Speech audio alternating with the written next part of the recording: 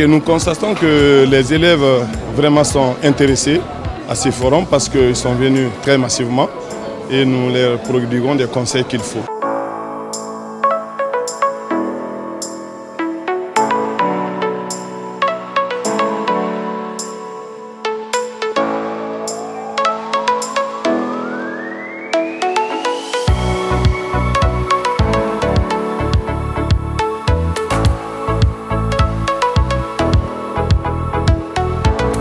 J'avoue que cette première édition du Forum de l'étudiant guinéen est vraiment une, réussite.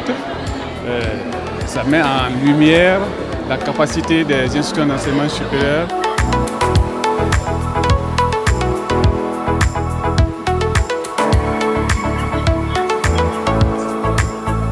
C'est la première fois que nous sommes euh, exposés euh, de façon nationale comme cela.